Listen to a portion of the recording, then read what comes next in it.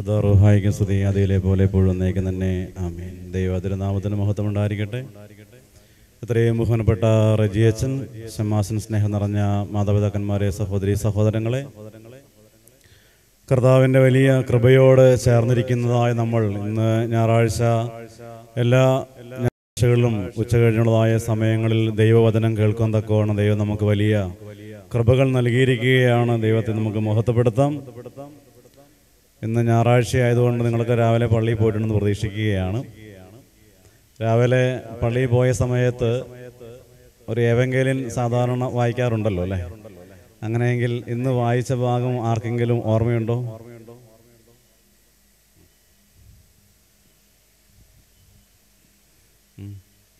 പള്ളി പോയിട്ടുണ്ട് ലക്ഷണം കാണുന്നില്ല.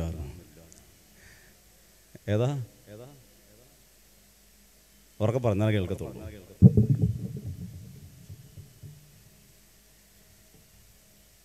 കണ്ടന്റ് പറഞ്ഞാൽ മതി. നിങ്ങൾ വചനമൊന്നും പറയണ്ട. ഏഹ് അതിനെന്ത് വായിച്ച് കേട്ട കണ്ടന്റ് എന്തായിരുന്നു? ഏതാ? ആ മത്സ്യത്തിന്റെ വായിൽ നിന്ന് നാണയം കിട്ടിയ കാര്യമാണ്. ഓക്കെ. ഓർമ്മയുണ്ട്. കുറച്ച് പേർക്കൊക്കെ ശ്രദ്ധിച്ചിട്ടുണ്ട്.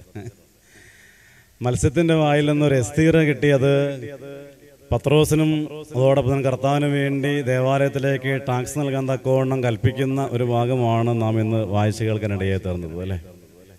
നമുക്കിന്ന് ഇന്നത്തെ ഒരു ചിന്തകളിലൂടെ ആ ഭാഗത്തെ ഒന്നുകൂടി ധ്യാനിക്കാൻ തക്കവണ്ണം നമുക്ക് ഇടയായി തീരാം. മത്താടെ സുവിശേഷം പതിനേഴാം അധ്യായം അതിന്റെ ഇരുപത്തി രണ്ട് മുതൽ ഇരുപത്തി ഏഴ് വരെയുള്ളതായ വചനഭാഗങ്ങളാണ് നാം ഇന്ന് കേൾക്കാൻ തക്കവണ്ണം ഇടയായി തീർന്നത്.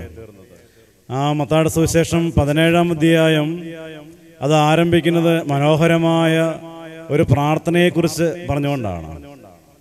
കർത്താവ് ഒരു മലമുകളിലേക്ക് കയറി അവിടെ സ്ലീഹന്മാരുടെ കൂടെ പ്രാർത്ഥിക്കുന്നതായ ഒരു സംഭവമാണ് പതിനേഴാം അധ്യായത്തിന്റെ ആദ്യ ഭാഗങ്ങളിൽ കാണാനിടയായിത്തീരുന്നത്. അവിടെ ഒരു താബോർ മലയെക്കുറിച്ചാണ് വിവരിക്കുന്നത്. താബോർ മലയിലേക്ക് കർത്താവ് കുറച്ച് സ്ലീഹന്മാരെ കൂട്ടിക്കൊണ്ട് പ്രാർത്ഥിക്കാൻ പോവുകയാണ്. അതിൽ കർത്താവ് എല്ലാവരെയും ഒന്നും കൊണ്ടുപോയില്ല. കർത്താവിന് കുറച്ചുകൂടെയൊക്കെ സ്നേഹവും അടുപ്പവും തോന്നിയ കുറച്ച് പേരെയാണ് കൂട്ടിക്കൊണ്ടുപോയത്. ആരൊക്കെയാണത്? ഉം? ഞാനങ്ങനെ ചോദ്യം ചോദിക്കും നിങ്ങൾ ഇടയ്ക്ക് ഉറങ്ങാതിരിക്കാൻ വേണ്ടിയാണ്? ആ ആരൊക്കെ? പത്രോസ് യോഹന്നാൻ യാക്കോബ്. അപ്പോൾ മൂന്ന് പേരെയും കൂട്ടിക്കൊണ്ടാണ് കർത്താവ് പ്രാർത്ഥിക്കാൻ വേണ്ടി ഈ ഒരു താമ്പോർ മലയിലേക്ക് പോയത്. അപ്പം കർത്താവ് വലിയ തീക്ഷ്ണതയോടുകൂടി പ്രാർത്ഥിക്കുന്ന സമയത്ത് കർത്താവ് കുറച്ചുകൂടെ ഏകാന്തനായിട്ട് മാറും അപ്പോൾ വലിയ തീക്ഷ്ണതയോടെ പ്രാർത്ഥിക്കുന്ന സമയം നമുക്കറിയാം നമ്മുടെ പേഴ്സണലായിട്ട് മുഴുവൻ കാര്യങ്ങളും തുറന്നു പറഞ്ഞ് സംസാരിക്കാൻ പറ്റുന്ന അവസ്ഥ എന്ന് പറഞ്ഞിരിക്കുന്നത് മുറിക്കകത്ത് വാതിലെല്ലാം അടച്ച് ഒറ്റയ്ക്കിരുന്ന് പ്രാർത്ഥിക്കുന്ന സമയത്താണ്. അന്നേരമാണ് കുറച്ചുകൂടെ നമുക്ക് നമ്മുടെ ഹൃദയം മുഴുവൻ അങ്ങ് തുറന്ന് പ്രാർത്ഥിക്കാൻ പറ്റുന്നത്. അതുകൊണ്ട് കർത്താവ് ഇങ്ങനെ പ്രാർത്ഥിക്കുന്ന സമയത്തും കാര്യം മൂന്ന് സ്നേഹന്മാർ കൂടെ ഉണ്ടെങ്കിലും കർത്താവ് അവരിൽ നിന്ന് കുറച്ചുകൂടെ മുകളിലേക്ക് കയറിയിട്ട് ഒറ്റയ്ക്ക് പ്രാർത്ഥിക്കുകയാണ്. അപ്പോൾ പ്രാർത്ഥനയുടെ വലിയൊരു ശ്രേഷ്ഠമായ ഭാവമാണ് നമ്മൾക്ക് എല്ലാം ഒരുമിച്ചിരുന്ന പ്രാർത്ഥന അത് ആവശ്യമാണ് എന്ന് അതോടൊപ്പം തന്നെ പേഴ്സണലായ ഒരു സ്നേഹബന്ധം ദൈവത്തോട് ഉണ്ടാക്കിയണം എന്ന് കർത്താവോട് ഓർമ്മപ്പെടുത്തുകയാണ്. ഇങ്ങനെ പ്രാർത്ഥിക്കുന്നതായ സമയത്താണ് സ്ലീഹന്മാരെ നോക്കുമ്പോൾ അവർ പാതി ഉറക്കത്തിലാണ്. പാതി ഉറക്കത്തിനിടയിൽ കണ്ണൊക്കെ തുറന്നു നോക്കുമ്പോഴാണ് കണ്ടത് എന്നതാണ് നേരത്തെ കണ്ട കർത്താവിന്റെ രൂപമല്ല ഇപ്പോൾ കാണുന്നത്. മറിച്ച് ഇപ്പോൾ വലിയൊരു പ്രകാശമായിട്ട് കർത്താവ് ആ മലമുകൾ നിൽക്കുകയാണ്. കർത്താവ് പനിയെ ഒരു രൂപാന്തരം പ്രാപിച്ചുകൊണ്ടിരിക്കുകയാണ്. വലിയൊരു പ്രകാശമായിട്ട് കർത്താവ് മാറുന്നു. നോക്കുമ്പോൾ കർത്താവ് ഒറ്റയ്ക്കല്ല ഇപ്പോൾ അവിടെ രണ്ടുപേരും കൂടെ കൂടെയുണ്ട്. ആരൊക്കെയാണത്? ആ മോശയും ഏലിയാവും. മോശയും ഏലിയാവും കൂടി കർത്താവിന്റെ പ്രാർത്ഥനയോട് ചേർന്നിരിക്കുകയാണ്. ഇത് വലിയൊരു ദൈവാനുഭവത്തിന്റെ ഭാവമാണ്. പ്രാർത്ഥിക്കുന്ന സമയത്ത് ഏകാന്തതയോടെ ചേർന്നിരുന്ന് പ്രാർത്ഥിക്കുന്ന സമയത്ത് വിശുദ്ധന്മാരുടെ വലിയ സാന്നിധ്യം കൂടെ ഉണ്ടാകുമെന്ന് നമ്മെ ഓർമ്മപ്പെടുത്തുന്നതായ ഒരു ഭാഗമാണ്. ഫ്രാൻസിസ് അസീസ് എന്ന് പറയപ്പെടുന്നതായ കാത്തലിക് സഭയിലെ ഒരു വിശുദ്ധൻ അദ്ദേഹത്തെ കുറിച്ചുണ്ട് അദ്ദേഹത്തിന്റെ ചരിത്രങ്ങളെല്ലാം എഴുതിയിരിക്കുന്നത് ഇങ്ങനെയാണ്. അദ്ദേഹം പ്രാർത്ഥിക്കാൻ വേണ്ടി ഒരു ഗുഹകളിലൂടെയൊക്കെ പോകാറുണ്ട്. ഒറ്റയ്ക്ക് സ്നേഹന്മാർ അല്ലെങ്കിൽ കൂടെയുള്ള ആളുകളെയൊക്കെ കുറച്ച് മാറ്റി നിർത്തിയിട്ട് അദ്ദേഹം ചില ഗുഹയ്ക്ക് അകത്തേക്ക് കയറി പ്രാർത്ഥിക്കുമായിരുന്നു. അങ്ങനെ പ്രാർത്ഥിക്കുന്ന സമയത്ത് അദ്ദേഹം വായുവിൽ ഇങ്ങനെ പൊങ്ങി നിന്നുകൊണ്ട് പ്രാർത്ഥിക്കുമായിരുന്നു എന്നാണ് പറയപ്പെടുന്നത്. അന്നേരം കൂടെയുള്ള കൂടെ ഫ്രാൻസ് അസീസൽ സ്ലീഹന്മാരെല്ലാം ഇത് നോക്കിക്കാണാറുണ്ട് എത്രമാത്രം തീക്ഷ്ണതയോടുകൂടിയാണ് പ്രാർത്ഥിക്കുന്നത്. അതുകൊണ്ടോ ആ പ്രാർത്ഥനയുടെ ചൈതന്യം എന്ന് പറഞ്ഞിരിക്കുന്നത് ഏകാന്തതയിൽ ദൈവത്തോട് കുറച്ചുകൂടെ ചേർന്നിരുന്നുകൊണ്ട് പ്രാർത്ഥിക്കുന്നതായ ഒരു അനുഭവം. അപ്പോൾ മോശയും ഏലിയാവും കടന്നു വന്നുകൊണ്ട് കർത്താവിനോട് ഇപ്പോൾ സംസാരിച്ചുകൊണ്ടിരിക്കുകയാണ്. എന്തിനെ കുറിച്ചാണ് ഇപ്പോൾ അവർ രണ്ടുപേരും സംസാരിച്ചുകൊണ്ടിരിക്കുന്നത്. ചുമ്മാ ലോഹ്യം പറഞ്ഞുകൊണ്ടിരിക്കുകയാണ് അവിടെ. ആ പറഞ്ഞോ ഉറക്കെ പറഞ്ഞോ കർത്താവിന് വരാൻ പോകുന്ന പീഡാനുഭവത്തെ കുറിച്ചാണ് അല്ലെ? കർത്താവിന് വരാൻ പോകുന്ന പീഡാനുഭവത്തെ കുറിച്ചാണ് ഇപ്പോൾ അവിടെ സംസാര വിഷയം എന്ന് പറഞ്ഞിരിക്കുന്നത് നാളെ നീ താഴേക്ക് ഇറങ്ങുമ്പോൾ നിന്നെ കാത്തിരിക്കുന്നത് വലിയ പീഡകളായിരിക്കും. അതുകൊണ്ട് അത് എങ്ങനെ നേരിടണം മനഃശക്തിയും ആ ഒരു തന്റെ ഇടത്തോടു കൂടി അത് നേരിടണമെന്ന് കർത്താവിനെ ശക്തിപ്പെടുത്തുന്നത് ഭാഗം കൂടിയാണ്. ഇതിന്റെ ഓർമ്മ എന്ന് പറഞ്ഞിരിക്കുന്നത് പ്രാർത്ഥിക്കുമ്പോഴാണ് ജീവിതത്തിലെ മുഴുവൻ പ്രതിസന്ധികളെയും തരണം ചെയ്യാനുള്ള ഒരു ആത്മീയ ശക്തി നമ്മുടെ ഉള്ളിലേക്ക് നിറയപ്പെടാൻ ഇടയായി തീരുന്നത്. ചിലപ്പോൾ ഒത്തിരി പ്രതിസന്ധികൾ നമ്മുടെ ജീവിതത്തിലേക്ക് കടന്നു വന്നേക്കാം. നഷ്ടങ്ങൾ വന്നേക്കാം. രോഗാവസ്ഥകൾ കടന്നു വന്നേക്കാം. തകർച്ചകൾ കടന്നു വന്നേക്കാം. എന്നാൽ ഇതിനു മുമ്പ് ചെയ്യേണ്ട കാര്യം ഏതൊരു കർത്താവിനെ കൂട്ടിക്കൊണ്ടുപോയാലും അതിനെ തരണം ചെയ്യാൻ തക്കവണ്ണമുള്ളതായ ഒരു പ്രാർത്ഥനയുടെ പിൻബലം നമുക്കെല്ലാം ആവശ്യമാണെന്ന് കർത്താവ് ഓർമ്മപ്പെടുത്തുകയാണ്. ഇത് എല്ലാവർക്കും ഒന്നും മനസ്സിലാകുന്നില്ല. ഇപ്പം നമ്മൾ തൊട്ട് ഇരുപത്തിരണ്ടാമത്തെ വാക്യത്തിലേക്ക് എത്തുമ്പോഴേക്കും കർത്താവ് സ്ലീഹന്മാരോടും പറയുകയാണ് ഞാൻ നാളെ കുറച്ച് കഴിയുമ്പോൾ പീഡനങ്ങളിലേക്ക് മാറും. ഇത് കർത്താവ് പറയുന്നത് മത്താസ്ലിഹായുടെ കമൻട്രി വായിക്കുമ്പോൾ. അതിൽ എഴുതപ്പെട്ടിരിക്കുന്നത് ഇങ്ങനെയാണ് ഈ കർത്താവിന്റെ പീഡാസഹനങ്ങൾക്ക് ഏകദേശം മുപ്പത് ദിവസങ്ങൾക്ക് മുമ്പാണ് ഈ കാര്യങ്ങളെല്ലാം സംഭവിച്ചത് എന്നാണ് പറയപ്പെടുന്നത്. എന്ന് പറഞ്ഞാൽ ഒരു മുപ്പത് ദിവസങ്ങൾക്ക് ശേഷം കർത്താവ് പീഡകളെല്ലാം സഹിക്കേണ്ടി വരും. അതുകൊണ്ട് സ്നേഹന്മാരെ കർത്താവ് ഓർമ്മപ്പെടുത്തുകയാണ്. ഞാൻ നാളെ പുറത്തേക്ക് താഴേക്ക് ഇറങ്ങുമ്പോൾ വേദനകളിലൂടെ പീഡകളിലൂടെ എല്ലാം കടന്നു പോകേണ്ടി വരും. എന്നാൽ സ്നേഹന്മാർ പറയുകയാണ് അവർക്കത് ഉൾക്കൊള്ളാൻ പറ്റുന്നില്ല. അവരുടെ ഭാവമെല്ലാം മാറി മുഖമെല്ലാം ഭയങ്കരമായ ദുഃഖത്തിലേക്ക് മാറി വിഷണിച്ചിരിക്കുകയാണ്. അന്നേരം കർത്താവ് വീണ്ടും അടുത്ത സ്ഥലത്തേക്ക് എത്തി അപ്പോൾ ഇവിടെ ഇങ്ങനെ മലമുകളിൽ ഇങ്ങനെ നടന്നു നടന്ന് പല സ്ഥലങ്ങളിലൂടെ പോയിക്കൊണ്ടിരിക്കുകയാണ്. പിന്നെ അതിനെക്കുറിച്ച് ബൈബിളൊന്നും പറഞ്ഞിട്ടില്ല. അവർ ഭയങ്കരമായിട്ട് അതിനെക്കുറിച്ചൊക്കെ വേദനിച്ചും കരഞ്ഞും പിടിച്ചൊക്കെ ഇരിക്കുകയാണ്. അത് ഉൾക്കൊള്ളാൻ സ്നേഹന്മാരെ കൊണ്ട് പറ്റുന്നില്ല. കാരണം ഇത് സ്വീകരിക്കത്തക്കവണ്ണം സാധ്യമായി മാറണമെങ്കിൽ ഉണർന്നിരുന്ന് പ്രാർത്ഥിക്കാൻ തക്കവണ്ണം സാധിക്കണം. കർത്താവ് പ്രാർത്ഥിക്കുന്നുണ്ട് പക്ഷേ സ്ലീഹന്മാരുടെ അവസ്ഥ എന്ന് പറഞ്ഞിരിക്കുന്നത് എപ്പോഴാണ്? അവരും എപ്പോഴും ഉറക്കം തന്നെയാണ്. അപ്പോൾ ഇതോ നമ്മൾ പലപ്പോഴും ഉറക്കത്തിൽ നിന്ന് ഉണരുവാൻ തക്കവണ്ണം പലപ്പോഴും സാധിക്കാതെ പോകാറുണ്ട്. പീഡാസഹനത്തിന്റെ രാത്രി പോലും ഗത്സമന തോട്ടത്തിൽ കർത്താവ് തീക്ഷ്ണതയോടെ രക്തം വിയർത്ത് പ്രാർത്ഥിക്കുകയാണ്. അപ്പോഴും ഉണ്ട് സ്നേഹന്മാര് അന്നേരം കൂർക്കം വലിച്ച് ഉറങ്ങിക്കൊണ്ടിരിക്കുകയാണ്. അപ്പം ഇതാണ് സാധാരണഗതിയിലുള്ള ക്രൈസ്തവരുടെയൊക്കെ ഭാവം എന്ന് പറഞ്ഞിരിക്കുന്നത്. പ്രാർത്ഥിക്കേണ്ട സമയം തീക്ഷ്ണതയോടെ ഒരു ദൈവമുള്ള ഒരു ആത്മബന്ധം സൂക്ഷിക്കേണ്ട സമയത്ത് പോലും അത് സാധിക്കാതെ പോകുന്ന ഒരവസ്ഥ പലപ്പോഴും നമ്മുടെയൊക്കെ ജീവിതങ്ങൾ ഉണ്ടാകാറുണ്ട് എന്നാൽ അതിലപ്പുറം ദൈവത്തോട് ആത്മാർത്ഥമായ ഒരു വലിയ ബന്ധം നമ്മുടെ ഉള്ളിനുള്ളിലേക്ക് കൊണ്ടുവരേണ്ടതുണ്ട്. അതിനെക്കുറിച്ചാണ് ഇവിടെ പറയാൻ ആഗ്രഹിക്കുന്നത്. കർത്താവ് വീണ്ടും കവർന്ന ഹോമിലേക്ക് എത്തുകയാണ്. അപ്പോഴാണ് കുറച്ച് പേര് നികുതി പിരിക്കുന്ന കുറേ ആളുകൾ കർത്താവിന്റെ അടുക്കിലേക്ക് കടന്നു വന്നുകൊണ്ട് കർത്താവിനോട് ചോദിക്കുന്ന ചോദ്യമുണ്ട് അല്ലെങ്കിൽ സ്നേഹന്മാരോട് ചോദിക്കുന്ന ചോദ്യമാണ് നിങ്ങളുടെ ഗുരു ദേവാലയത്തിലേക്ക് നികുതി കൊടുക്കാറില്ലേ? നിങ്ങളുടെ ഗുരു ദേവാലയത്തിലേക്ക് നികുതിയൊന്നും കൊടുക്കാറില്ലേ? ഈ ഒരു നികുതി പിരിവ് എന്ന് പറഞ്ഞിരിക്കുന്നത് അത് അനേക വർഷങ്ങൾക്ക് മുമ്പ് ഒരു ദേവാലയം അല്ലെങ്കിൽ ദേവാലയ സങ്കല്പങ്ങളൊക്കെ ഈ ഭൂമിയിൽ സ്ഥാപിതമായ കാലഘട്ടം മുതൽ തുടങ്ങിയ ഒരു കാര്യമാണ്. പുറപ്പാട് പുസ്തകത്തിൽ ഇരു മുപ്പതാം അധ്യായത്തിൽ അതിന്റെ പതിനൊന്ന് മുതൽ പതിനാറ് വരെയുള്ളതായ വചനഭാഗങ്ങൾ വായിക്കുമ്പോൾ നമുക്കൊന്ന് വായിക്കാം. പുറപ്പാട് പുസ്തകം അതിന്റെ മുപ്പതാം അധ്യായം പതിനൊന്ന് മുതൽ പതിനാറ് വരെയുള്ളതായ വചനഭാഗങ്ങൾ. കർത്താവ് മോശയോട് അരളി ചെയ്തു ഇസ്രായേലിൽ ജനസംഖ്യ കണക്കെടുക്കുമ്പോൾ തങ്ങളുടെ ഇടയിൽ മഹാമാരി ഉണ്ടാകാതിരിക്കാൻ ഓരോരുത്തരും തങ്ങളുടെ ജീവന് വേണ്ടി കർത്താവിന് മോചനദ്രവ്യം കൊടുക്കണം. ജനസംഖ്യ കണക്കിൽ ഉൾപ്പെടുന്ന ഓരോ വ്യക്തിയും വിശുദ്ധ മന്ദിരത്തിൽ നിലവിലുള്ള കണക്കനുസരിച്ച് അര ശേക്കൽ വീതം കർത്താവിനെ കണ കാണിക്കയായി കൊടുക്കണം. ഒരു ശേക്കൽ ഇരുപത് കേര ജനസംഖ്യ കണക്കിൽ ഉൾപ്പെടുന്ന ഇരുപത് വയസ്സും അതിനു മേലും പ്രായമുള്ള ഓരോ വ്യക്തിയും ഈ കാണിക്ക കർത്താവിന് നൽകണം. പാപപരിഹാരത്തിനായി കർത്താവിന് ഈ കാണിക്ക നൽകുമ്പോൾ അര ശേക്കൽ മാത്രമേ നൽകാവൂ. ധനികൻ കൂടുതലോ ദരിദ്രൻ കുറവോ കൊടുക്കാൻ പാടില്ല. ഇസ്രായേൽ ജനത്തിൽ നിന്ന് പാപപരിഹാര തുക സ്വീകരിച്ച് സമാഗമ കൂടാരത്തിലെ ശുശ്രൂഷയ്ക്ക് ഉപയോഗിക്കണം. അങ്ങനെ നിങ്ങൾക്ക് പാപപരിഹാരത്തിന് ഉതകും വിധം ഇത് ഇസ്രായേൽ ജനത്തെ കർത്താവിന്റെ സ്മരണയിൽ കൊണ്ടുവരും. അതുകൊണ്ട് അവിടെ ഓർമ്മപ്പെടുത്തുന്ന ഒരു കാര്യമാണ് എന്തിനാണ് ദേവാലയത്തിലേക്ക് നികുതി കൊടുക്കേണ്ടത്? ഇവിടെ അര ശേക്കൽ വീതം എല്ലാവരും ഇത് ദേവാലയത്തിലേക്കുള്ളതായി നികുതി കൊടുക്കണമെന്ന് മോശയിലൂടെ കർത്താവ് കൽപ്പിക്കുകയാണ്. പുറപ്പാട് പുസ്തകം നമുക്കറിയാം അവിടെ ഇസ്രായേൽ ജനം മുഴുവൻ ഈജിപ്തിന്റെ അടിമത്തത്തിൽ നിന്ന് മാറി പതിയെ പാലും തേനും ഒഴുകുന്നതായ ഒരു ദേശത്തേക്ക് കൂട്ടിക്കൊണ്ടുപോകുന്നതായ സമയമാണ്. അവരെ മോശയും അഹ്റോനും അടങ്ങുന്നതായ വലിയൊരു സമൂഹമാണ് ഈ ജനത്തെ മുഴുവൻ മുമ്പിൽ നയിക്കുന്നത്. അങ്ങനെ പോകുമ്പോൾ അവർക്ക് ഒരു ആരാധനയെക്കുറിച്ച് കൃത്യമായ അറിവില്ല. എങ്ങനെയാണ് പ്രാർത്ഥിക്കേണ്ടതെന്ന് അറിവില്ല. എങ്ങനെയാണ് ഒരു ബലി അർപ്പിക്കേണ്ടതിനെ കുറിച്ച് വ്യക്തമായ ധാരണകളൊന്നും അവർക്കില്ല. ആകപ്പാടെ ഇസ്രായേൽ ജനത്തിനുള്ളതായ അറിവ് എന്ന് പറഞ്ഞിരിക്കുന്നത് ഇസ്രാ ഈജിപ്തിൽ കടന്നതായ സമയത്ത് ഏകദേശം പത്ത് നാനൂറ് വർഷത്തോളം ഈജിപ്തിലായിരുന്നു. അതുകൊണ്ട് അവിടെ കണ്ടുപിടിച്ച കുറേ കാര്യങ്ങൾ മാത്രമാണ് അവരുടെ എല്ലാം മനസ്സിൽ കിടക്കുന്നത്. അതിൽ നിന്ന് വേർവിട്ട് ഒരു ദൈവിക ആരാധനയിലേക്ക് ഇതാ സമൂഹത്തെ കൂട്ടിക്കൊണ്ടു പോകേണ്ട വലിയൊരു ഉത്തരവാദിത്വമാണ് ഇപ്പോൾ മോശയ്ക്ക് ലഭ്യമായി മാറിയിരിക്കുന്നത്.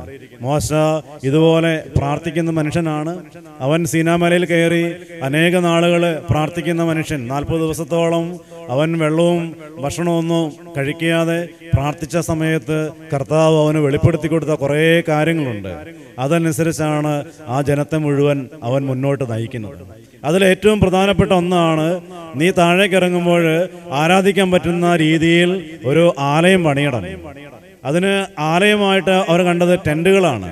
കാരണം ആ സമൂഹം ഒരു സ്ഥലത്ത് നിന്ന് കുറച്ചു ദൂരം യാത്ര ചെയ്യും അവിടെ ടെന്റ് അടിക്കും അവിടെ കുറച്ചു നേരം താമസിക്കും അവിടെ നിന്ന് വീണ്ടും അടുത്ത യാത്ര പുറപ്പെടും അവിടെ ചെല്ലുമ്പോൾ അവിടെയും ടെന്റ് അടിച്ച് അവിടെ താമസിക്കുന്ന രീതികളാണ്. ഏകദേശം നാൽപ്പത് വർഷത്തോളം ആ ഈജിപ്തിന്റെ മരുഭൂമിയിലൂടെ അവർ യാത്ര ചെയ്തു എന്നാണ് പറയപ്പെടുന്നത്. അപ്പോൾ ഒറ്റ ദിവസം കൊണ്ടോ രണ്ട് ദിവസം കൊണ്ടോ എത്തിയപ്പെട്ട ഒരു സമൂഹമല്ല നാൽപ്പത് വർഷക്കാലം കൊണ്ടാണ് ഇത് ആ ജനം ഈജിപ്തിൽ നിന്ന് കാനാൻ ദേശത്തേക്ക് എത്തിപ്പെടുന്നത്.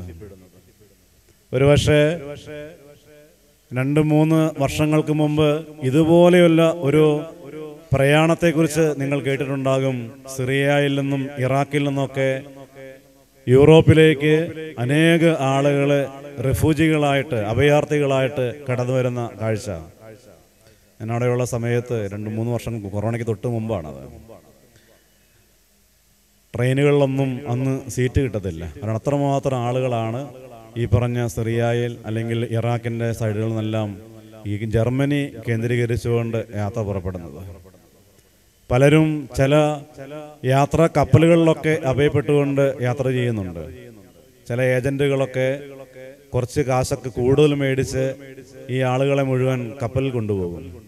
കപ്പലിൽ ഇരിക്കാൻ പോലും നിൽക്കാൻ പോലും സ്ഥലമില്ലാതെ അതിന്റെ മൊത്തം സൈഡും പണ്ട് ഇന്ത്യ ഡിവൈഡ് ചെയ്യപ്പെട്ട സമയത്ത് പാകിസ്ഥാനിലേക്ക് ആളുകൾ പോയ ചിത്രങ്ങളൊക്കെ ഒരുപക്ഷെ നിങ്ങൾ കണ്ടിട്ടുണ്ടാകും. ട്രെയിനിന്റെ മുകളിലൊക്കെ ആളുകൾ കയറി ഇരുന്നുകൊണ്ട് യാത്ര ചെയ്യുന്ന അവസ്ഥ. ഇതുപോലെ തന്നെ ഒരു അവസ്ഥ. കപ്പലിന് മുകളിൽ യാതൊരുവിധ സുരക്ഷിതത്വമില്ലാതെ ആളുകൾ ഇങ്ങനെ യൂറോപ്പിലേക്ക് കടന്നു വന്നുകൊണ്ടിരിക്കുകയാണ്. ചില കപ്പലുകളൊക്കെ ഇടയ്ക്ക് മുങ്ങിപ്പോയി. അതിൽ പത്തും ആയിരം പേരും അടങ്ങിയ കപ്പലൊക്കെ ഇടയ്ക്ക് മുങ്ങിപ്പോയിട്ട് ആളുകൾ മരിച്ച വാർത്തകളൊക്കെ ഒരുപക്ഷെ നിങ്ങൾ കേട്ടിട്ടുണ്ടാകും. ഏകദേശം പത്ത് ലക്ഷത്തിന്റെ മേലെ ആളുകളാണ് ഈ അഞ്ച് വർഷങ്ങൾക്ക് മുമ്പ് ജർമ്മനിയിലേക്ക് കുടിയേറി പാർത്തത്. അപ്പം ഞാനങ്ങനെ ഓർക്കുകയായിരുന്നു. അവരൊക്കെ അനേകം മൈലുകൾ കാൽനടയായിട്ട് പോളണ്ടിനൊക്കെ അതിർത്തിയിൽ വന്ന് ആ ഗേറ്റും തുറക്കാൻ വേണ്ടി കാത്തിരിക്കുന്ന ഫോട്ടോകളും വീഡിയോകളൊക്കെ കാണുകയുണ്ടായി. അതാ അവിടെ നിന്ന് കടത്തി വിടുമ്പോൾ ലക്ഷക്കണക്കിന് ആളുകൾ കാൽനടയായിട്ട് അവിടെ വന്ന് അവിടുന്ന് പിന്നെ ചെറിയ കാറുകളോ അല്ലെങ്കിൽ ട്രെയിനൊക്കെ പിടിച്ച് ജർമ്മനിയിലേക്ക് പോകുന്ന കാഴ്ച. പെട്ടെന്ന് അതെല്ലാം ആ ചിത്രങ്ങളും വാർത്തകളൊക്കെ കാണുമ്പോൾ പണ്ട് ഇസ്രായേൽ ജനം ഏകദേശം ഇത്രയും പതിനാറ് ലക്ഷം യോദ്ധാക്കളും പിന്നെ അതിന്റെ ഭാര്യമാരും മക്കളും അടങ്ങുന്ന വലിയൊരു സമൂഹം ഇങ്ങനെ ഈജിപ്തിൽ നിന്ന് ഈ ഒരു മരുഭൂമിയിലൂടെ യാത്ര പോയ അതേ സെയിം അവസ്ഥ ഈ കഴിഞ്ഞ കാലങ്ങളിൽ റിപ്പീറ്റ് ചെയ്യുകയുണ്ടായി. ഞാൻ ഓർമ്മപ്പെടുത്തിയത് ഇതെങ്ങനെ യാത്ര ചെയ്യുന്ന സമയത്ത് ആരാധനയെക്കുറിച്ചൊന്നും വ്യക്തമായ ധാരണകളൊന്നും അവർക്കില്ല. അതുകൊണ്ട് മോശ കൽപ്പിക്കുകയാണ് ഒരു കൂടാരം ദേവാലയ ദൈവത്തിന് വേണ്ടി ഉണ്ടാക്കണം. അവിടെ ഒരു സമാഗമന കൂടം കൂടാരം ഉണ്ടാക്കണം. അവിടെ ദൈവത്തിന്റെ ഒരു ദൈവിക സാന്നിധ്യം നിറഞ്ഞിരിക്കുന്നതായ ഒരു കൂടാരം ടാബർനാക്കിൾ അല്ലെങ്കിൽ ദൈവത്തിന്റെ സാന്നിധ്യമുള്ള ഒരു കൂടാരം ഉണ്ടാക്കണമെന്ന് കർത്താവ് മോശയ്ക്ക് കൽപ്പന കൊടുക്കുകയാണ്. അതിന് നല്ല മനം ഉണ്ടാക്കുമ്പോൾ ചുമ്മാ പൊളിഞ്ഞു പോകുന്ന രീതിയിൽ ഒന്നും ഉണ്ടാക്കരുത്. നല്ല രീതിയിൽ സ്വർണം കൊണ്ടൊക്കെ ഏറ്റവും മനോഹരമായിട്ട് പൊതിഞ്ഞ് നല്ല വിലയേറിയ രീതിയിൽ വേണം ഉണ്ടാക്കാൻ. അതുപോലെ പണം വേണം. അതുകൊണ്ട് കർത്താവ് മോശയോട് പറയുകയാണ് നീ ജനത്തിന്റെ ഇടയിൽ നിന്ന് നീ സമ്പത്ത് ശേഖരിച്ചു കൊള്ളുക.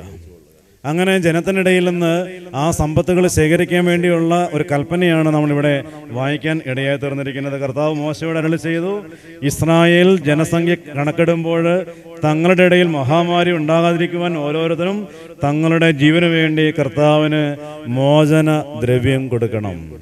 അപ്പോൾ അവിടെ ഇത് വാങ്ങുമ്പോൾ കർത്താവ് തിരിച്ചൊരു എഗ്രിമെന്റ് ചെയ്യുകയാണ്. ഇതാ നിങ്ങൾ സുരക്ഷിതരായിരിക്കും. നിങ്ങളുടെ ഇടയിൽ നിന്ന് ഒരു പത്ത് രൂപ ഞാൻ മേടിച്ചു കഴിഞ്ഞാൽ അതിന് ഞാൻ നിങ്ങളുടെമായി കടപ്പെട്ടിട്ടുണ്ട്. അതുകൊണ്ട് ആ മേഖലകളിൽ നിങ്ങൾ സുരക്ഷിതരായിരിക്കും എന്ന് കർത്താവ് ഓർമ്മപ്പെടുത്തുകയാണ്. ഇവിടെ മനോഹരമായ ഒരു മോചന ദ്രവ്യത്തെക്കുറിച്ചാണ് ഇവിടെ ഓർമ്മപ്പെടുന്നത്. ഒരു റാൻസം. ഇതാ സമൂഹത്തിന്റെ പാപങ്ങൾക്ക് വേണ്ടിയിട്ട് ഒരു പരിഹാര ബലിയർപ്പിക്കത്തക്കവണ്ണം കർത്താവ് അവരിൽ നിന്ന് എടുക്കുന്ന ഒരു ചെറിയ എമൗണ്ട് എന്നിട്ടിങ്ങനെ പറഞ്ഞിരിക്കുകയാണ് എല്ലാവരും അത് ധനവാന്മാരായിക്കൊള്ളട്ടെ പാവപ്പെട്ടവരായിക്കൊള്ളട്ടെ കുഞ്ഞുങ്ങളായിക്കൊള്ളട്ടെ എല്ലാവരും അരശേക്കൽ വീതം കർത്താവിന് കൊടുക്കണം. അത് ദൈവത്തിനുള്ള പാപ പരിഹാര ബലിക്ക് വേണ്ടി അത് ഉപയോഗിക്കണം. ഉണ്ടോ പാപപരിഹാരത്തിനാണ് കർത്താവിന് ഈ കാണിക്ക നൽകുമ്പോൾ അരക്ഷാക്കൾ മാത്രമേ നൽകാവൂ എന്ന് ഓർമ്മപ്പെടുത്തുകയാണ്. അത് ദൈവത്തിനുള്ള ഒരു കാഴ്ച വസ്തുവായിട്ട് ഒരു പാപപരിഹാര ബലിയർപ്പിക്കാനുള്ള ഒരു വസ്തുവായിട്ട് നിങ്ങളത് സമർപ്പിക്കാൻ തക്കവണ്ണം ഇടയായി തീരണമെന്ന് ഓർമ്മപ്പെടുത്തുകയാണ്. അപ്പം നോക്കിയേ ഇത് കർത്താവ് പറഞ്ഞിരിക്കുകയാണ് നിങ്ങളുടെ മേൽ ഒരു ദൈവികമായ അനുഗ്രഹം ഉണ്ടാകേണ്ടതിന് വേണ്ടിയിട്ട്. ഇവിടെ ഒരു ഓർമ്മപ്പെടുത്തുന്നത് ഇങ്ങനെയാണ് ഏഹ്, ജനസംഖ്യ കണക്കെടുക്കുമ്പോൾ തങ്ങളുടെ ഇടയിൽ മഹാമാരി ഉണ്ടാകാതിരിക്കാൻ ഓരോരുത്തരും അവനവന് വേണ്ടിയിട്ട് ഓരോ ജീവനാംശം അല്ലെങ്കിൽ ജീവന് വേണ്ടി കർത്താവിന് മോചന ദ്രവ്യം കൊടുക്കേണ്ടതുണ്ട്. അപ്പോൾ ദൈവത്തിന്റെ ഒരു സംരക്ഷണത്തിന്റെ വലയം എല്ലാവരെയും പൊതിയപ്പെടേണ്ടതിന് വേണ്ടിയിട്ട് ഒരു മോചന ദ്രവ്യം കൊടുക്കേണ്ടതുണ്ടെന്ന് കർത്താവ് ഓർമ്മപ്പെടുത്തുകയാണ്. ഇങ്ങനെ പഴയ നിയമത്തിൽ ആളുകളൊക്കെ വലിയ ഭാരമായിട്ട് അങ്ങനെ കൊടുത്തുകൊണ്ടിരിക്കുകയാണ്. അപ്പോഴാണ് കർത്താവ് പുതിയ നിയമത്തിൽ കടന്നു വരുമ്പോൾ കൂടെ ആളുകളൊക്കെ ചോദിക്കുന്നുണ്ട് നിങ്ങളുടെ ഗുരു ഇതൊന്നും കൊടുക്കുന്നില്ലേ? നിങ്ങളുടെ ഗുരു ഇത് കൊടുക്കണമെന്ന് മോശ കൽപ്പിച്ച കാര്യമാണ്. എന്നിട്ട് നിങ്ങളത് കൊടുക്കുന്നില്ലേ? എന്ന് ചോദിക്കുകയാണ്. കർത്താവ് വളരെ മനോഹരമായിട്ട് അതിന് പുതിയൊരു ഇന്റർപ്രട്ടേഷൻ നൽകുകയാണ് ആരാണ് തലവരി കൊടുക്കേണ്ടത്? രാജാക്കന്മാർ അവർ തലവരി കൊടുക്കാറുണ്ടോ? അവരുടെ മക്കൾ രാജാവിന് കപ്പം കൊടുക്കാറുണ്ടോ? ഇല്ലല്ലോ. അങ്ങനെ കൊടുക്കുന്നത് ആരാണ്? പരദേശികളല്ലേ അന്യരല്ലേ യഥാർത്ഥ കപ്പം കൊടുക്കുന്നത്? അങ്ങനെയെങ്കിൽ മക്കളൊക്കെ സ്വതന്ത്രരാണല്ലോ എന്നൊക്കെ കർത്താവ് ഓർമ്മപ്പെടുത്തുകയാണ്. യഥാർത്ഥത്തിൽ സ്വാതന്ത്ര്യം ആ മക്കളുടെ മേഖലയിലേക്ക് കർത്താവ് നൽകാനിടയായി തീരുകയാണ്. ഇവിടെ ഇത് ഓർമ്മപ്പെടുത്താൻ കാരണം പുതിയ നിയമ പഴയ നിയമത്തിന്റെ ആ മോചന ദ്രവ്യം എന്ന സങ്കല്പം അല്ലെങ്കിൽ ആ രീതി കർത്താവ് കുറച്ചുകൂടെ പുതിയ പുതിയ ഒരു മാറ്റങ്ങൾ വരുത്തിക്കൊണ്ട് താൻ തന്നെയാണ് മോചന ദ്രവ്യം ഞാൻ നിങ്ങൾക്ക് വേണ്ടി മോചന ദ്രവ്യമായി മാറാൻ വേണ്ടിയാണ് കടന്നു വന്നിരിക്കുന്നത്. ഈ ഭൂമിയിലെ ഓരോ മക്കളെയും ദൈവത്തിന്റെ സ്വന്തം മക്കളായി മാറേണ്ടതിന് വേണ്ടിയിട്ട് ഇത് അവരുടെ പാപ മോചന ദ്രവ്യമായി മാറാൻ വേണ്ടിയാണ് ഈ ഭൂമിയിലേക്ക് കടന്നു വന്നിരിക്കുന്നതെന്ന് ഓർമ്മപ്പെടുത്തുകയാണ്. കർത്താവ് നമുക്ക് വേണ്ടിയൊക്കെ പരിഹാരമായിട്ട് നിലനിന്നില്ല എങ്കിൽ നമുക്ക് എങ്ങനെ ജീവിക്കാൻ പറ്റും? ഈ കഴിഞ്ഞ ഞായറാഴ്ച ഇവിടെ ശുശ്രൂഷകളൊക്കെ ശേഷം എന്നൊരു വ്യക്തി കാണാൻ കടന്നു വന്നു. അപ്പോൾ പണ്ട് ഞാൻ വയനാടുള്ള സമയത്ത് അദ്ദേഹം ധ്യാനത്തിന് അവിടെ വന്നിട്ടുള്ളതാണ്. അവിടെ വന്ന് വളരെ മനോഹരമായ ധ്യാനം എല്ലാം കൂടി ഒത്തിരി മാനസാന്തരം ഉണ്ടായി ഒത്തിരി ദൈവകൃപയെല്ലാം പ്രാപിച്ച് തിരിച്ചു വന്ന വ്യക്തിത്വമാണ്. അദ്ദേഹം എന്നെ കണ്ടപ്പോൾ വളരെ സ്നേഹപൂർവം ഓടി വന്ന് ആ പരിചയമൊക്കെ പുതുക്കങ്ങനെ ഇടയിൽ തീർന്നു. എന്നിട്ട് അച്ഛൻ എന്നോട് പറയാം അച്ഛാ എന്നെ ഓർമ്മയില്ലേ? പണ്ട് ഞാൻ വയനാട്ടിൽ ധ്യാനം കൂടാൻ വന്നിട്ടുണ്ട്. അന്ന് മഹാകുടീനായിരുന്നു. കുടിച്ചു കുടിച്ച് ബോധമില്ലാതെ ഞാനൊരു മാനസിക രോഗിയായിരുന്നു അന്ന്. എന്നാൽ എന്ന് വെച്ചാൽ ഇന്ന് എനിക്ക് ഒത്തിരി സന്തോഷമുണ്ട്. ഞാൻ ഒത്തിരി പെർഫെക്റ്റ് ആയിട്ട് എന്റെ ജീവിതത്തെ മുന്നോട്ട് കൊണ്ടുപോകാൻ തക്കവണ്ണം എനിക്ക് സാധിക്കുന്നുണ്ട്. ഞാനങ്ങനെ ചിന്തിക്കുകയായിരുന്നു. ഒരു ധ്യാനം കൂടിയപ്പോൾ അദ്ദേഹത്തിന്റെ ജീവിതത്തിൽ വലിയ മാറ്റമുണ്ടായി. അദ്ദേഹത്തിന്റെ പാപാവസ്ഥകളൊക്കെ പെട്ടെന്നങ്ങ് മാറിപ്പോകാനിടയായി തീർന്നു. അദ്ദേഹം ഇന്നുവരെയും മാനസിക രോഗിയെന്നും മദ്യപാനിയെന്നും കുറ്റപ്പെടുത്തിയിരുന്നതായി സമൂഹത്തെ കാണുമ്പോൾ സ്നേഹപൂർവം സ്നേഹിക്കുവാനും കരുതുവാനൊക്കെ തോന്നത്തക്കവണ്ണം അദ്ദേഹത്തിന്റെ മുഖത്ത് പോലും പാപങ്ങൾ മാറ്റങ്ങളുണ്ടായി. എന്തുകൊണ്ടാണ് ഇത് ഒരു പാപത്തിന് പരിഹാരകനായിട്ട് ക്രിസ്തു എന്ന യാഥാർത്ഥ്യം പിന്നിൽ നിൽക്കുന്നത് കൊണ്ട് മാത്രമല്ലേ? ഒരിക്കലും വീനാൽ ചെന്ന സമയത്ത് അവിടെ ഒരു വ്യക്തി പറഞ്ഞൊരു കാര്യമുണ്ട്. അച്ഛാ ഞാൻ പണ്ട് ഭയങ്കര വലിയ സിഗരറ്റ് വലിയുടെ അടിമയായിരുന്നു സിഗരറ്റ് വലിയും കുടിയും. ഇത് രണ്ടും ഭയങ്കരമായിട്ട് എന്റെ ജീവിതത്തിലുണ്ടായിരുന്നു. ഭാര്യ അവസാനം മടുത്ത് അദ്ദേഹത്തെ നാട്ടിലേക്ക് പറഞ്ഞു വിട്ടു ഇനി ഇത് നിർത്തിയിട്ട് ഇങ്ങോട്ട് വന്നാൽ മതി. എന്നെ വിളിച്ചാൽ മതി. അല്ലെങ്കിൽ ഇങ്ങോട്ട് വരണ്ട. അവസാനം ഭാര്യ മടുത്ത് അദ്ദേഹത്തെ നാട്ടിലേക്ക് പറഞ്ഞയച്ചു. അദ്ദേഹം ഏതൊരു ധ്യാന കേന്ദ്രത്തിൽ പോയിട്ട് ഒരു ധ്യാനം കൂടി. അന്ന് അദ്ദേഹം പറയുന്ന കാര്യമാണ് പക്ഷെ അതിനുശേഷം സിഗരറ്റ് വലിക്കണം എന്നൊക്കെ ആഗ്രഹമുണ്ട്. പക്ഷെ അങ്ങനെ എടുക്കുമ്പോൾ അതിന്റെ ആ ഒരു പുക സ്മെല്ല് കാണിക്കുമ്പോൾ തന്നെ തല കറക്കുകയാണ് ഛർദ്ദിക്കാൻ വരുന്നു. അതുകൊണ്ട് അതെനിക്ക് വലിച്ചെറിയുകയാണ്. മദ്യത്തിന്റെ ആ കുപ്പി കാണുമ്പോൾ തന്നെ അതിനോട് ഭയങ്കരമായൊരു ഇറിറ്റേഷൻ വരികയാണ്. അതുകൊണ്ട് ഞാൻ പിന്നെ അതിന് തൊട്ടിട്ടില്ല എന്ന് പറയുകയാണ്. അപ്പം നോക്കുക ആ ഒരു പാപത്തിന്റെ അവസ്ഥ മുഴുവൻ ഒറ്റ നിമിഷം കൊണ്ട് നീങ്ങിപ്പോകാൻ ഇടയായി തീർന്നു. എന്തുകൊണ്ടാണ്? ഈ പാപത്തിനെല്ലാം പരിഹാരമായിട്ട് അതിന്റെ പിന്നിൽ ഒരുവനുണ്ട്. ആ യാഥാർത്ഥ്യമാണ് പാപ പരിഹാരകനായ മോചന ദ്രവ്യമായ ക്രിസ്തു എന്ന യാഥാർത്ഥ്യം. ക്രിസ്തു നമുക്ക് വേണ്ടി ഒരു പരിഹാര ബലി അർപ്പിച്ചില്ലായിരുന്നുവെങ്കിൽ ക്രിസ്തു നമുക്ക് വേണ്ടി ഇത് മോചനദ്രവ്യമായി മാറിയില്ലായിരുന്നുവെങ്കിൽ എവിടെയാണ് ഒരു വ്യക്തിക്ക് പാപമോചനവും പരിഹാരവും ലഭ്യമായിട്ട് മാറുന്നത്? അതുകൊണ്ട് കർത്താവ് നമുക്ക് വേണ്ടി നിലകൊള്ളുന്നതായ ഒരു പരിഹാര ബലിവസ്തുവാണെന്ന് കർത്താവ് ഓർമ്മപ്പെടുത്തുകയാണ്. മത്താട സുവിശേഷത്തിൽ ഇരുപതാം അധ്യായം ഇരുപത്തി എട്ടാം വാക്യത്തിൽ ഓർമ്മപ്പെടുത്തുകയാണ് മത്താടെ സുവിശേഷം ഇരുപത് ഇരുപത്തെട്ടിൽ. ശുശ്രൂഷിക്കപ്പെടാനല്ല ശുശ്രൂഷിക്കാനും അനേകരുടെ മോചന ദ്രവ്യമായി സ്വജീവൻ കൊടുക്കാനും മനുഷ്യത്തിനും വന്നിരിക്കുന്നത് പോലെ തന്നെ. ഉണ്ടോ ശുശ്രൂഷിക്കപ്പെടുവാനല്ല മറിച്ച് അനേകർക്ക് ശുശ്രൂഷ ചെയ്യുവാനും അനേകരുടെ പാപങ്ങൾക്ക് മോചന ദ്രവ്യമായി മാറുവാൻ വേണ്ടിയാണ് മനുഷ്യപുത്രൻ വന്നിരിക്കുന്നത്. മർക്കോസന സുവിശേഷം അതിന്റെ പത്താം അധ്യായ നാൽപ്പത്തി അഞ്ചാം വാക്യത്തിലും ഇതേ കാര്യം തന്നെ റിപ്പീറ്റ് ചെയ്യുകയാണ്. കർത്താവ് വന്നിരിക്കുന്നത് അനേകരുടെ പാപങ്ങളുടെ മോചന ദ്രവ്യമായി മാറാൻ വേണ്ടിയാണ്.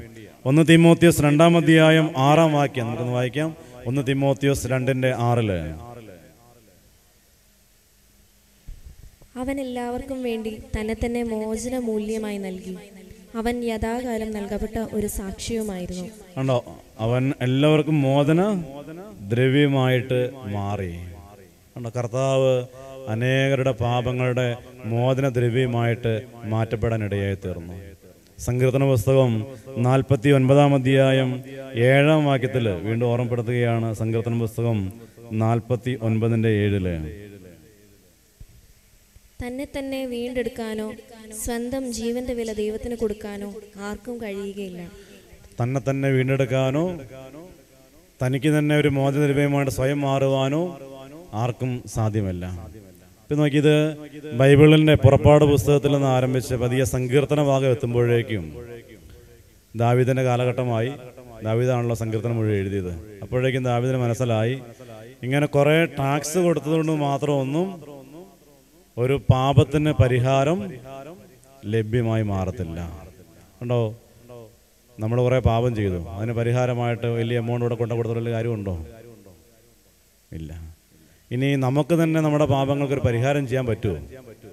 ഇപ്പോൾ ഒരു ഉദാഹരണം പറഞ്ഞു കഴിഞ്ഞാൽ അറിയാതെ നമ്മുടെ കയ്യിൽ ഒരു അബദ്ധം പറ്റി വണ്ടി ഓടിച്ചുകൊണ്ടിരിക്കുകയാണ് നമ്മൾ പെട്ടെന്ന് അങ്ങോട്ട് മയങ്ങിപ്പോയി. വണ്ടി റോഡിലൂടെ നടന്നു പോകുന്ന ഒരു വ്യക്തിയെ കയറി ഇടിച്ചു. സ്പോട്ടിൽ അദ്ദേഹം മരിച്ചുപോയി നോക്കിയ. ആ മരിച്ചുപോയ വ്യക്തിയുടെ ജീവന് പകരം കൊടുക്കാൻ നമ്മളെ കൊണ്ട് പറ്റുമോ? നമ്മുടെ കയ്യിൽ നിന്ന് ആ തന്നെ ഒരു പരിഹാരം ചെയ്യാൻ നമ്മളെ കൊണ്ട് പറ്റുമോ? പറ്റില്ല. അല്ലേ? അങ്ങനെയെങ്കിൽ ഏതെങ്കിലും നമ്മുടെ ജീവിതത്തിൽ വന്നുപോയ പാപത്തിന് ഒരു പരിഹാരം ചെയ്തുകൊണ്ട് രക്ഷപ്പെടാം എന്ന് ചിന്തിക്കുന്നത് ശരിയാണോ? ഞാൻ ചിലരോടൊക്കെ വിദ്വേഷം വെറുപ്പൊക്കെ സൂക്ഷിക്കുകയാണ്. ഞാൻ ചിന്തിക്കുകയാണ്. അതോടെ കിടക്കട്ടെ. അതിന് പകരോടെ ഇപ്പുറം ഞാൻ കുറച്ച് പ്രാച്യത്തൊക്കെ ചെയ്തോളാം എന്ന് ചിന്തിച്ചിട്ട് കാര്യമുണ്ടോ? എന്റെ വ്യക്തിപരമായ എന്തെങ്കിലും പ്രവർത്തികൾ കൊണ്ട് എന്റെ ജീവിതത്തിലെ പാപത്തിന് പരിഹാരം കിട്ടുമോ കിട്ടത്തില്ല. മറിച്ച് അത് നൽകണമെങ്കിൽ ആരെ കൊണ്ടേ മാത്രമേ പറ്റത്തുള്ളൂ. ക്രിസ്തുവിന് മാത്രമേ പറ്റത്തുള്ളൂ. കർത്താവാണ് പാപ പരിഹാരകൻ. പോളണ്ടിൽ ഒരു ഒത്തിരി പ്രാർത്ഥിക്കുന്ന ഒരു സിസ്റ്റർ ഉണ്ട് ഫൗസ്റ്റീന എന്നാണ് പേര്. പണ്ട് ഒത്തിരി അനേകായിരങ്ങൾക്ക് വേണ്ടി പ്രാർത്ഥിച്ച വ്യക്തിത്വമാണ്. കർത്താവ് ഇടയ്ക്കിടയ്ക്ക് ഈ ഫൗസ്റ്റീനക്കൊക്കെ പ്രത്യക്ഷപ്പെടും. എന്നിട്ട് കർത്താവ് വലിയ കാര്യങ്ങളൊക്കെ അവളോട് സംസാരിക്കുമായിരുന്നു. അവൾ അവളോട് പറഞ്ഞ ഏറ്റവും വലിയ സന്ദേശം ഞാൻ കാരുണ്യവാനാണ്. ഞാൻ കരുണയാണ്. അതുകൊണ്ട് എല്ലാവരോടും എന്റെ കരുണയിൽ ആശ്രയിക്കാൻ നീ പഠിപ്പിക്കണം. നീ ഈ ഒരു പ്രാർത്ഥന എഴുതണം. കർത്താവിന്റെ കരുണയിൽ ആ സ്നേഹത്തിൽ എല്ലാവരും ആശ്രയിക്കുവാൻ പഠിക്കത്തക്കവണ്ണമുള്ള പ്രാർത്ഥനകൾ എഴുതണം. ഒരു മനോഹരമായ എന്റെ ചിത്രം ആരെ കൊണ്ടൊക്കെ ഒന്ന് വരപ്പിക്കണം. ഞാൻ കരുണയാണ്. ഞാനിതാ എല്ലാവരോടും കരുണ കാണിക്കാൻ ആഗ്രഹിക്കുന്നവനാണ്. ആരെല്ലാം എന്നിൽ ആശ്രയിച്ചുകൊണ്ട് ദൈവമേ ഞാൻ പാപിയാണ്. എന്റെ ജീവിതത്തിൽ ഒത്തിരി വീഴ്ചകൾ ഉണ്ടായിട്ടുണ്ട്. ഇതാ ഞാൻ എന്നെ കൊണ്ടൊന്നും ഈ പാപത്തിൽ നിന്ന് പരിഹാരം നേടാൻ പറ്റത്തില്ല. ഞാൻ എത്ര ശ്രമിച്ചാലും ഞാൻ വീണ്ടും വീണ്ടും അതിലേക്കെല്ലാം വീണ് പോയിക്കൊണ്ടേയിരിക്കുകയുള്ളൂ അതുകൊണ്ട് എന്നോടൊന്ന് കരുണ കാണിക്കണമേ എന്ന് ഉള്ളൊരുങ്ങി ആരെങ്കിലും ഒന്ന് പ്രാർത്ഥിച്ചു കഴിഞ്ഞാൽ ഞാൻ അവരോട് കരുണ കാണിക്കുന്നവനാണെന്ന് നീ ലോകത്തോട് വിളിച്ചു പറയണം.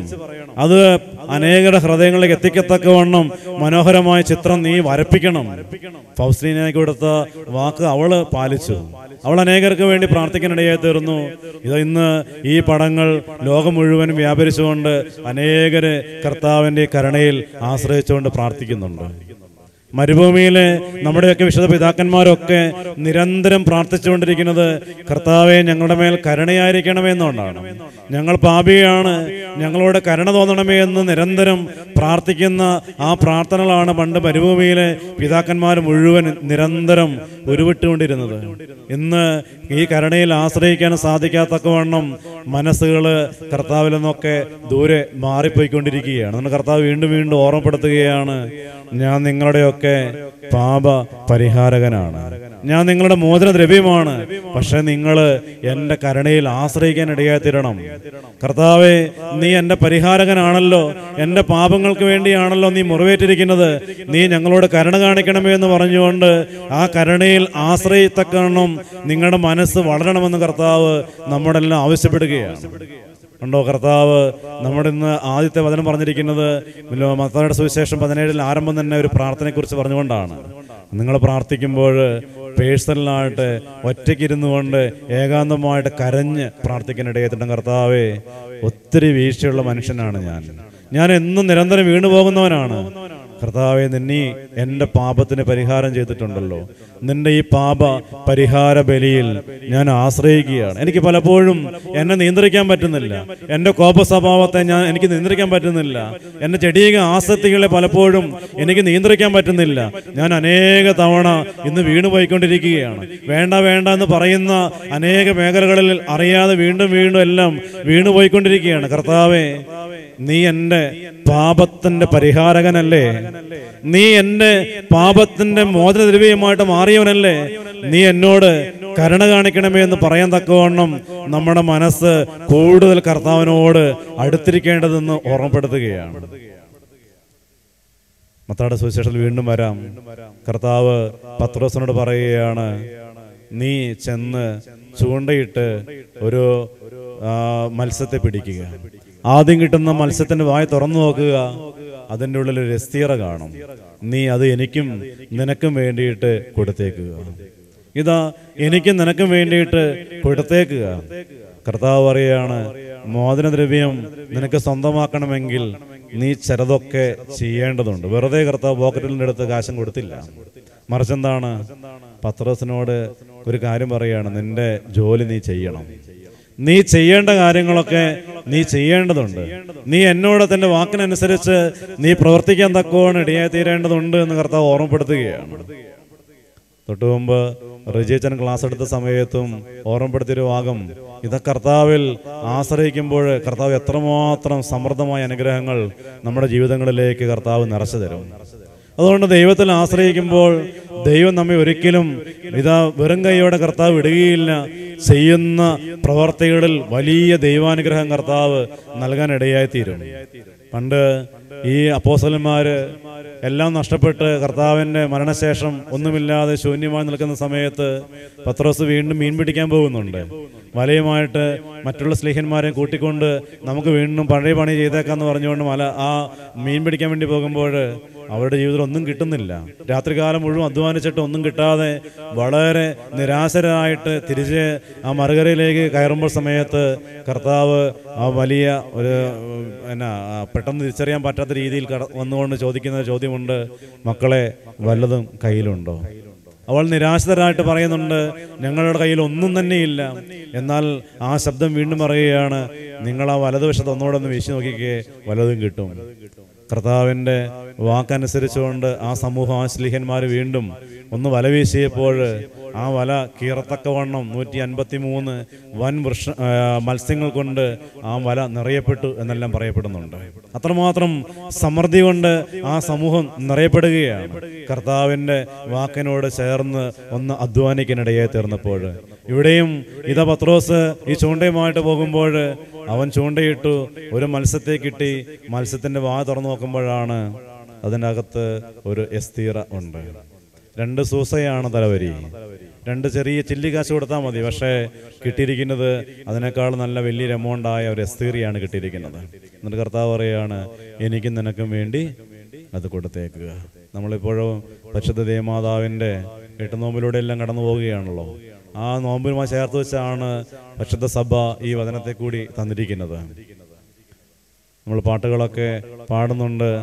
നാണയ മരുളിയ മത്സ്യമതും മാതാവേ നിന്നെ വിളിവാക്കിയല്ലേ? നാണയ മരുളിയ മത്സ്യമതും മാതാവേ നിന്നെ വെളിവാക്കി. അവിടെയും ഓർമ്മപ്പെടുത്തുന്നത് നാണയമലളിയ മത്സ്യം മാതാവിന്റെ സാദൃശ്യമായിട്ടാണ് പരിശുദ്ധ സഭ ക്രമീകരിച്ചിരിക്കുന്നത്. മാതാവുമായിട്ട് അതിനെ സാദൃശ്യപ്പെടുത്തിയിരിക്കുകയാണ്. എങ്ങനെയാണ് മാതാവുമായിട്ട് ഒരു സാദൃശ്യം ഉണ്ടാകുന്നത്. മത്സ്യവും മാതാവും തമ്മിൽ എന്തെങ്കിലും ബന്ധമുണ്ടോ? മത്സ്യത്തിന്റെ ഉള്ളിൽ ഒരു നാണയം കിടക്കുക എന്ന് പറഞ്ഞിരിക്കുന്നത് ഒരു അത്ഭുതമാണ് അല്ലേ? അതൊരു അസാധ്യമായ കാര്യമാണ്. കാരണം സാധാരണഗതിയിൽ മത്സ്യം അത് വിഴുങ്ങാൻ പറ്റുന്നത് മാത്രമേ വിഴുങ്ങാറുള്ളൂ. അല്ലെങ്കിൽ ബാക്കി സാധനങ്ങളൊക്കെ തൊപ്പിക്കളയും.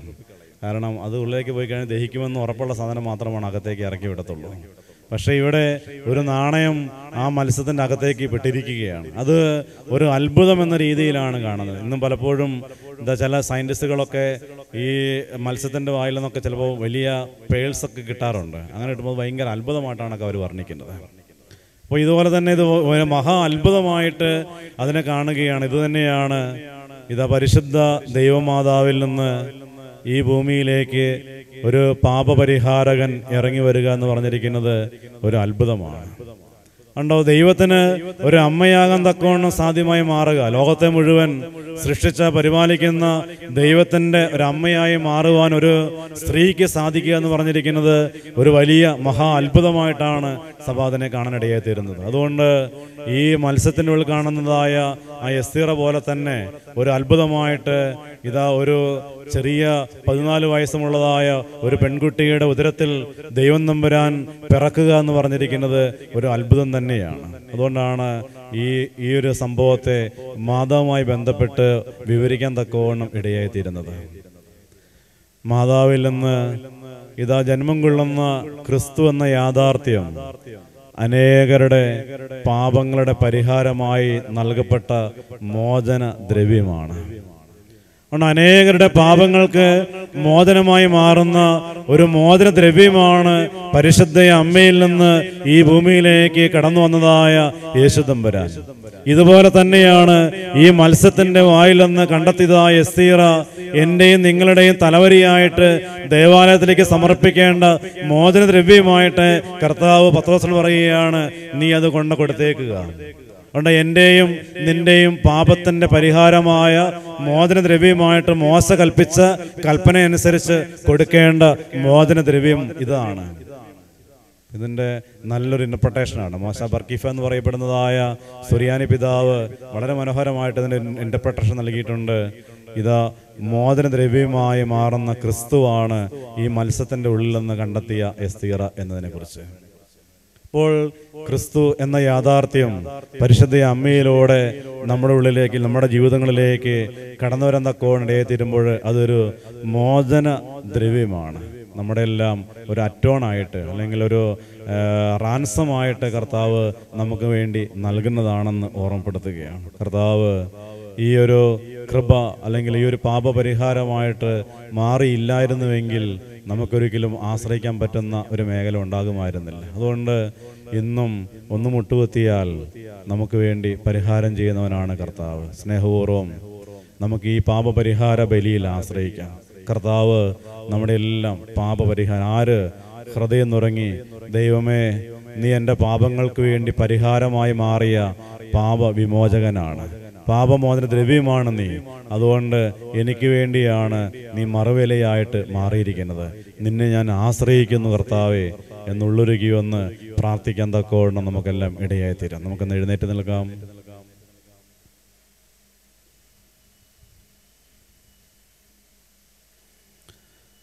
കണ്ണുകളെല്ലാം അടച്ചുകൊണ്ട്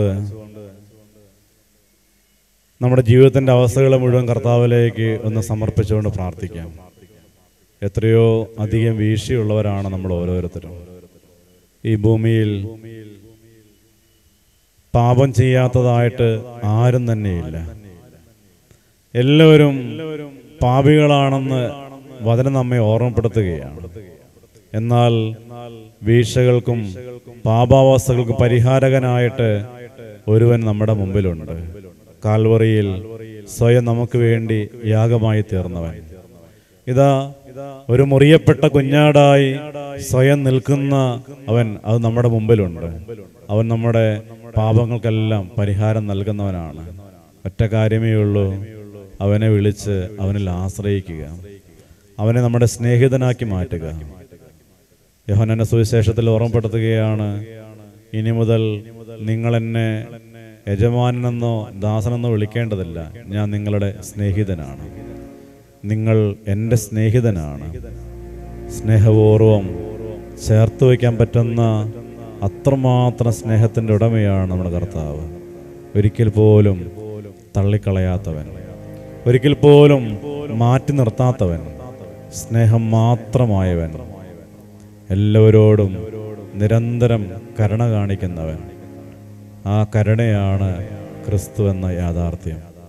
നമുക്ക് അവന്റെ ക്രൂസിലേക്ക് ചേർന്നിരുന്നുകൊണ്ട് നമുക്ക് അവിടുത്തെ ആരാധിക്കാൻ തക്കവണ്ണം ഇടയായി തീരാം നമ്മുടെ പാപങ്ങളെ ഓർത്ത് പശ്ചാത്തപിച്ചുകൊണ്ട് കർത്താവെ നീ ഞങ്ങളോടെല്ലാം കരുണ കാണിക്കണമേ എന്ന് ഉള്ളൊരുകി നമുക്ക് ഈ ഗാനത്തോട് ചേർന്ന് പ്രാർത്ഥന പാടി പ്രാർത്ഥിക്കാം.